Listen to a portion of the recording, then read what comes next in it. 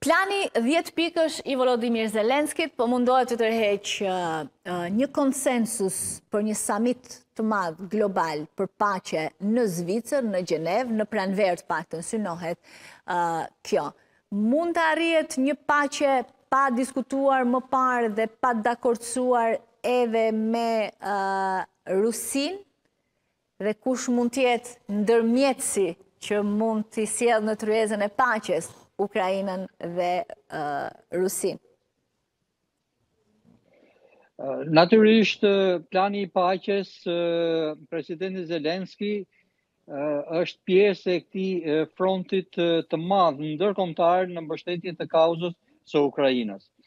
Dhe unë besoj që ky plan ka gjetur tashmë një mbështetje të gjerë, madje gjeti mbështetjen e vet edhe në samitin e djeshëm në Tiranë. Por nga ana tjetër, një plan paqe konkret real besoj që duhet të realizohet midis vendeve të përfshira në këtë luftë, ku natyrisht Federata Ruse është vendi i parë i cili ushtroi dhunë dhe agresion kundër Ukrainës dhe duhet të ulet në tavolinë që të pranojë një plan paqeje të tillë. Ndërkohë që interlokutorët ndërkombëtarë për të realizuar një plan konkret paqeje midis Ukrainës dhe Federatës Ruse janë ofruar tashmë. Ne dëgjuam edhe në fjalën e presidentit turk Erdogan dje i cili iu referua në një farë mënyre kësaj çështje, mm -hmm. dhe është shprehur i gatshëm për të ndërmjetësuar, dhe uh, presidenti Erdogan ka ndërmjetësuar dhe më përpara dhe për çështjen e transportit të grurit të Ukrainës në uh, vende të ndryshme të botës, nga ana tjetër kujtojmë këtu që presidenti Zelenski erdhi nga disa takime në Lindjen e Mesme, në, në vendet arabe, po.